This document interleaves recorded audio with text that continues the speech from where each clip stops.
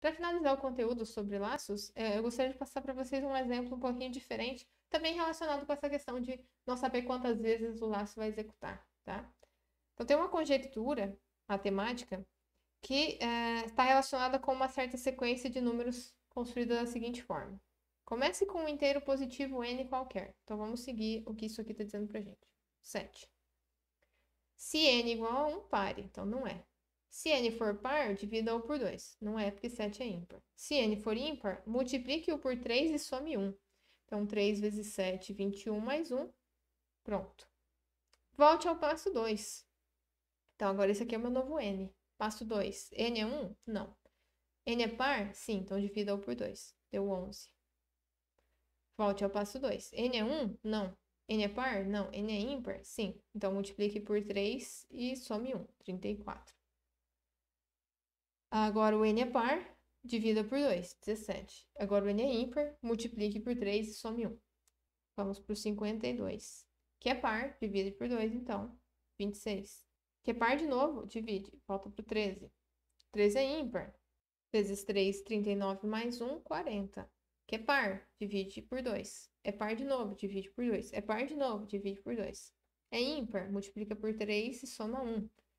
É par, divide por 2. É par, divide por 2. É par, divide por 2. É par, divide por 2. É um pare, tá? Então, essa é uma sequência que eu gerei a partir do n igual a 7. Essa sequência, a conjectura de Collatz diz pra gente que não importa o valor inicial do n, ela vai atingir o valor 1. E o que significa o fato dela ser uma conjectura? É uma, é uma hipótese que alguém acha que é verdadeira, mas ninguém conseguiu ainda realmente provar que ela é verdadeira. Então, pega qualquer valor de n que você tiver e segue este algoritmo que está gerando essa sequência. Você vai chegar em valor, no valor 1, depois que você testar essa sequência. Ah, pausa para comentar que isso aqui é um algoritmo, tá? São uma quantidade de. é uma sequência de passos bem definidos. Por mais que não esteja exatamente no formato que eu estou passando para vocês, com o tempo, a intenção é que vocês comecem a escrever algoritmos dessa forma mesmo, tá? A gente só precisou formalizar um pouquinho mais a escrita, né? Para também não virar uma festa. Mas isso aqui é um algoritmo, tá?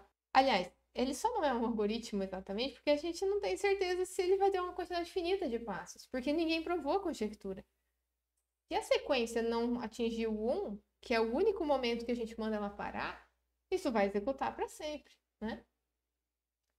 É... Esse problema também é conhecido como problema 3n mais 1, tá? Porque a gente, tá, a gente começa com um número, a, a única chance de, de diminuir ele é dividindo por 2. Senão a gente vai multiplicar por 3 e somar 1 e aumentar, certo?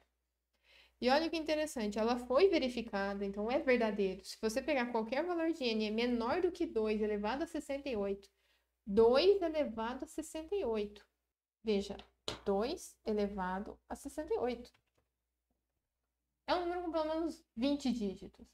Qualquer número abaixo disso, é, ela é verdade. Se você começar, ela vai terminar em 1. Mas, e se o próximo, e se o número é, 2 elevado a 68 mais 1 já não for verdade?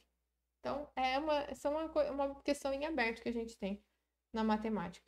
Por mais que você saiba que o negócio é verdade para uma quantidade bem grande, se você não provar formalmente que é verdade, você sempre vai ficar com essa dúvida. Mas e se o próximo, né? E se no próximo não valer?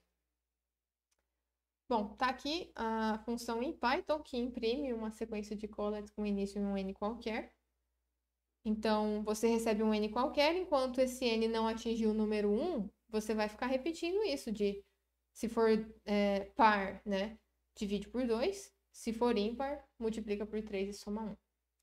E esses valores, né, depois de dividir por 2 ou multiplicar por 3, se tornam o seu novo n e te permitem continuar repetindo exatamente esses passos. Um, e aqui também, só para aproveitar, né, eu estou mandando imprimir na mesma linha, por isso que eu estou uh, obrigando ao final a não, não ter o barra n no final. Já comentei sobre isso também, né? Quando a gente faz print de um número, a, o, a tela, na tela, realmente uma linha será pulada, uma linha ficará em branco. Você faz, se eu tivesse só print de N aqui, ia ser impresso um número por linha. Aqui eu estou mandando imprimir tudo na mesma linha. Ah, então o que eu estou falando é, é, o número é diferente de 1, a primeira coisa que eu vou fazer é imprimir esse número. E aí eu modifico ele, né? Dividindo por 2 ou multiplicando por 3 mais 1. Se eventualmente chegar no 1, eu vou sair do laço, né? E vou imprimir o n, que no caso é 1, tá? Então, a única forma de eu sair desse laço, observando então a condição dele, é o n valer exatamente 1.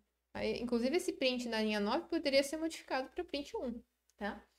Então, por eu ter mandado imprimir o valor de n quando eu entro na, no laço, o último valor da sequência, que é o 1, não foi impresso, porque eu não entrei no laço.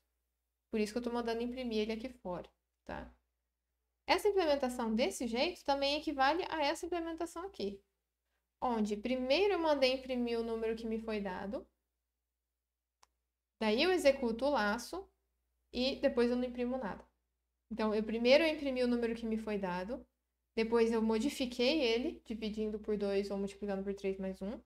E assim que eu descobri o novo número da sequência, eu mandei imprimir. Então, veja, a, a ordem faz toda a diferença, né?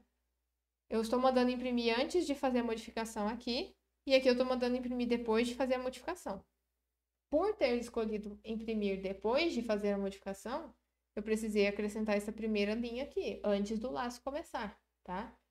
Então, quando a gente está criando uh, essas estruturas de repetição, faz diferença onde você escolhe colocar um certo comando, né? E aqui eu tenho um único comando de impressão e aqui eu tenho dois. Mas o resultado desses dois, dessas duas funções aqui é idêntico, tá? Então tem que tomar cuidado também com esse tipo de detalhe quando você estiver é, criando seus programas, tá bom? Nesse caso aqui, a, a última coisa que eu vou imprimir vai ser o 1, né? Eu vou imprimir vários valores, né? Mas a última coisa que eu vou imprimir vai ser o 1. E aí eu vou verificar se ele é diferente de 1, ele, ele vai ser igual a 1, eu vou sair e não vou imprimir nada. Não preciso imprimir nada, porque eu já imprimi o 1 aqui dentro, né? Então, por isso que esse último comando aqui não está imprimindo nada mesmo.